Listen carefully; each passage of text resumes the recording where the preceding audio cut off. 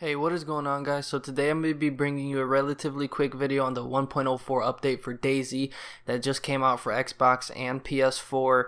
Um, I'm just going to get straight up with it and just say the link is in the description below of the full patch notes uh, for you know the 1.04 update.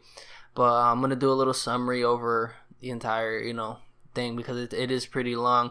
But um, the 1.04 platform update of DayZ on Xbox and PlayStation is now live. This update is a combination of the 1.03 and 1.04 updates. The comprehensive new update brings you an expansion of the disease system and gives purpose to several medical items on the combat side. We've added two new assault rifles from the trusty KA family, the factory suppressed VSS, as well as an arsenal of grenades as survivors discover their ability to throw items. Furthermore, the update includes NVGs and the universal flashlight for your tactical helmet, and two brand new belt models. Moreover, the infected have upgraded as well. So, guys, we also got a new vehicle called the Gunter 2. The Gunter 2 is just a small first generation family hatchback with front wheel drive, um, just like a little red vehicle, it's whatever. Um, the new weapons we got with the VSS. It's um, compatible with KA scopes and it uses 9 times 39 millimeter rounds selective fire.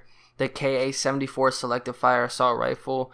Um, it uses 545 times uh, 39 millimeter rounds. We got the KA 101, which is also selective fire assault rifle. It uses 556 and 45 millimeter rounds, or 556 times 45 millimeter rounds. Um, we got regular and armor piercing 9 times 39 millimeter ammunition for the VSS. We got tracer variants for the 556 and 762. We got Baraka sights, backup iron sights, PSO 11 scope designed for the VSS rifle, and we got bayonets for the KA, M4, Mosin, and SK rifles. So um, they also added a new combat feature, which is melee. So on Xbox, you press X on PlayStation you press square and you you'll just knock back the zombie really with like a you know you smack them with your gun pretty much. But they they also added um that players can now throw items. So you just double tap X on Xbox or square on PS4 to activate the throwing stance. And you basically just aim where you want to throw and throw. But um new clothing too there's new belt there's a new belt able to carry a knife sheath sheath said that wrong. Gun holster and canteen. The universal flashlight and the new night vision goggles can be attached to the tactical helmet too.